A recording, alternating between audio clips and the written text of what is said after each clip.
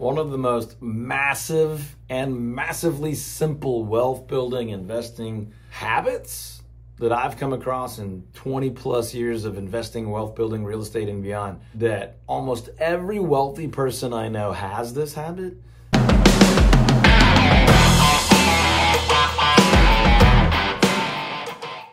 Outside of those people, almost nobody has this habit. It's mind blowing. It's so freaking frustrating to me because it's so, so simple. And the habit is keeping an eye on the value of all of your assets. In this video, I'm going to go a little bit deeper into your primary home. It is absolutely one of your assets. Now, you could go down the Robert Kiyosaki trail. If you don't know who I'm talking about, he's the author of Rich Dad Poor Dad, and he would define an asset as only something that regularly puts money into your pocket.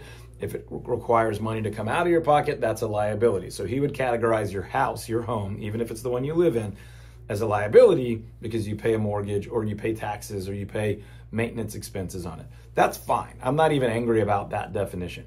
What I want you to do though is to think about, as you think about building wealth, buying assets, uh, accumulating equity and value, I want you to think about your home very similarly to how you think about your stock portfolio or your retirement accounts or even your investment properties.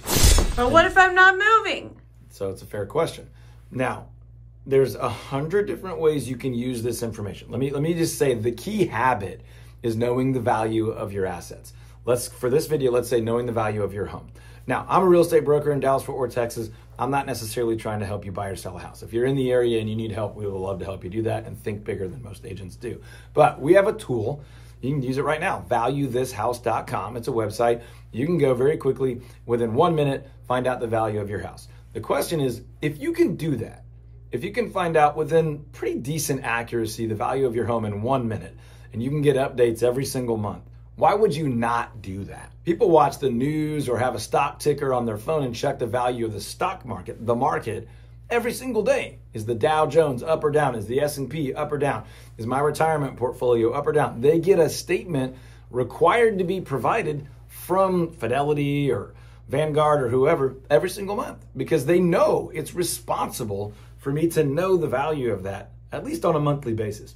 But people don't do that on their home and they don't do it because of the question I just got. Well, I'm not planning to sell it, so why should I care? And the answers are many. Let me just give you a couple. If you knew right now that the value of your home was up $200,000 over last year or five years ago, you might think about how you interact financially in other areas. Like, would you use a credit card with 18% interest to buy anything? Or would you hold a balance for anything if you knew you had hundreds of thousands of dollars of newfound equity in your home. If you could borrow against that, I'm not saying you should constantly be borrowing and tapping into your equity. This is just one example.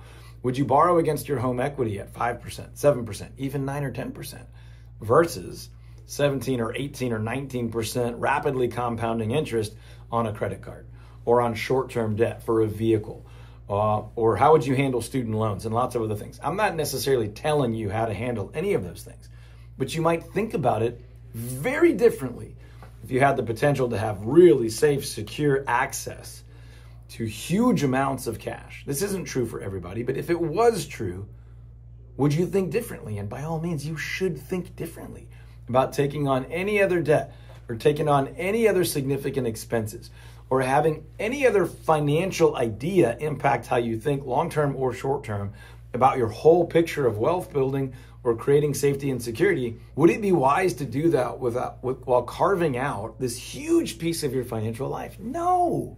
It would not be wise to do that. But so many people do it. They do not have the habit of keeping an eye on that ticker value of their real estate the same way they do the ticker value of their real estate, I mean, of their stock investments or their bond investments or their 401k or their kids' education savings that's tied to the market and things like that. I'm literally simply telling you to add the habit of knowing the value of your home or homes the same way you know the value of these other investments.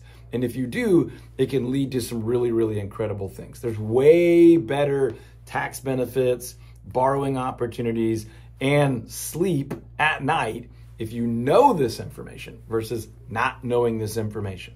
Now, a lot of people are going to say, I don't care. I don't need to know that until I'm going to sell it, or I'm going to buy another one, or I'm going to refinance it.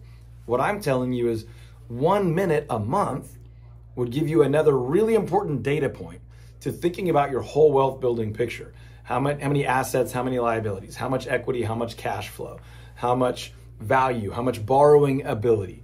If you had this unbelievable opportunity over here and you did know the value of this, what moves could you make to go capture that massive opportunity? If you didn't know this, how much more limited are you? Let me answer that for you. A lot more limited because you may not really understand what selling this at a different timeline than you originally thought could lead to. You could sell the home that you love, sell the home that you didn't know how much equity you have, and potentially get into a home that you never knew you could even possibly achieve, or buy investment property, or buy more stocks or bonds, or hold some more cash in a situation where that would be helpful, or be able to solve a problem that you didn't know you could solve for yourself or someone else, or be more generous giver. The fact is, if you don't know, then you don't know about all these opportunities. If you do know, you have way more information and opportunity to capture opportunities, to alleviate problems, to have impact, or just to sleep a little bit better at night.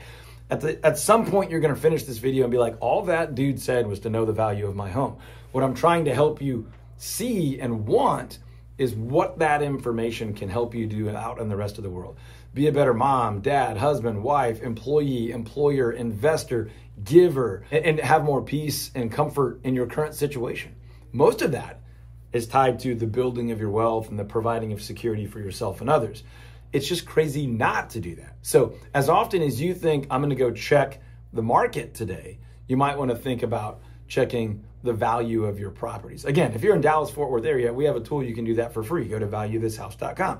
If you're not in our area, a full-time, fully dedicated, trusted real estate advisor that is that does this all day every day, whether it's residential or commercial, can help you do that probably on a monthly basis, quarterly minimum. You've got to know at least every 90 days. And the numbers do change. A lot of people think that's what my house is worth. It's always going to go up. Not true. That's what my house is worth. It doesn't change that often. Not true. These things move all the time. The city puts in a dump. They build a Walmart. They change the water main. Your neighbor gets a dog. The other neighbor's house burns down. Residential, commercial, industrial, these things are true. You need to know your property value, but especially your home where you and your family and your friends eat, sleep, play, and rest and all those things. It's absolutely important mathematically and psychologically to how you build wealth and create the life you want to live. So, at the core, all I've said is know your property value on a regular basis. I would say at least monthly, quarterly at a minimum. But I've also said if you know that, then you're probably going to see more and be able to take advantage of more opportunities create more safety and security and experience the benefits of that safety and security and enjoy your life more. So if you add this one habit to your wealth building in your life, it will go well for you. If you're in the DFW area, we can help. My information's below. Comment below. Let me know what I missed. What are the other big keystone foundational habits you have around wealth building that you don't see others have? We'll share them together. We'll all build wealth and safety and security together.